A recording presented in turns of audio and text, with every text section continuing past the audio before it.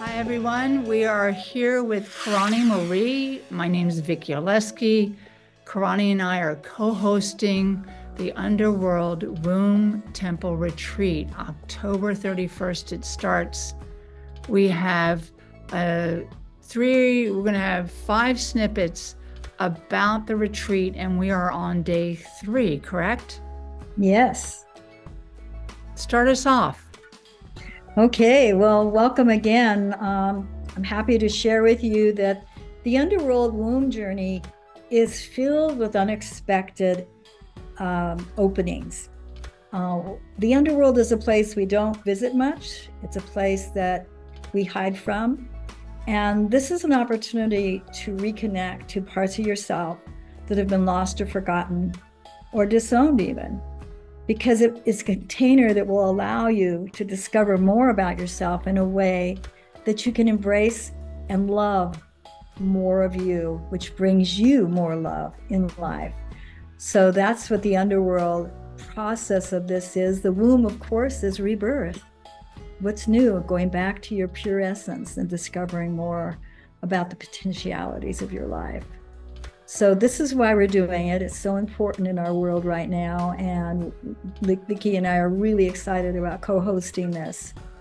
So on the third day, after we have got acquainted, uh, received our our gourd chalice, uh, visited the land, uh, visited Tlaquepaque, where we will experience the Day of the Dead ceremonies there we come back to the sanctuary and we create uh, our own altar for the Day of the Dead. We have our womb journey and a feast. And now, coming to the sanctuary in the morning, we're going to spend the whole day here.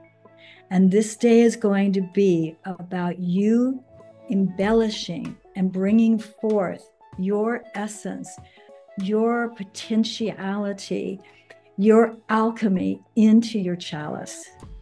And um, so that day will be fully dedicated to that. We will have our lunch and dinner here. We will have a fire ceremony, and we will go back into the womb presenting our chalice to the altar of the womb to yourself. And uh, it's going to be a full, rich, deepening day for all that you've experienced prior to this day. Each day is an excitement of unfolding energies, and it feels like um, they're quite different the first, the second, and now here we are talking about the third. I really get the sense of you know, individuation for each person, a sense of comfort and community and collaboration. Um, that we have the the women, eight of us. You know, again, I want to remind people it's limited to eight. So please, if you're very interested, reach out to Kerani and I. But the day day three feels like it's it's almost starting to integrate into like, oh, I really get what we're doing.